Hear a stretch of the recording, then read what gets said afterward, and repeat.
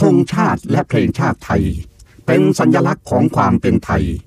เราจงร่วมใจยืนตรงเคารพธงชาติ ด้วยความภาคภูมิใจในเอกราช และความเสียสละของบรรพบุรุษไทย